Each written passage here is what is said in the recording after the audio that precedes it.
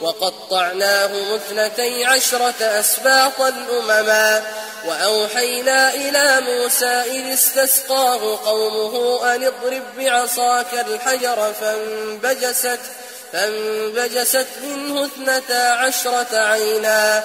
قد علم كل أناس مشربهم وظللنا عليهم الغمام وأنزلنا عليهم المن والسلوى.